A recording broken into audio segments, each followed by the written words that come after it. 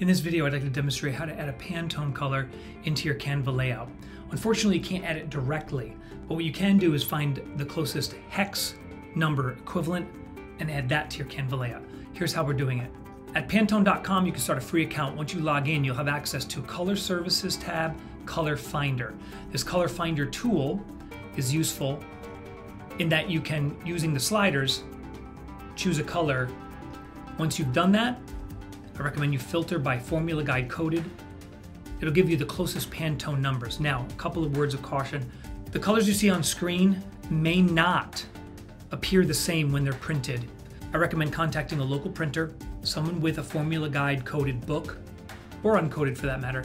Look at a color in real life in one of these books to be sure that you're gonna like the results when they're printed.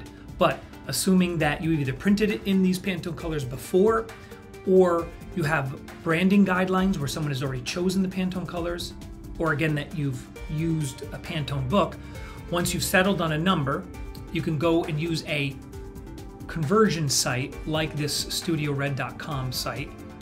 You can put in the number just by typing it in, and it'll give you the hex number and RGB equivalents. Once you have the hex number, that's the number you're going to come back to Canva, select your object, using the color menu here, put in your hex number, and then you can recolor your object. That's how to add a Pantone color into your Canva layout.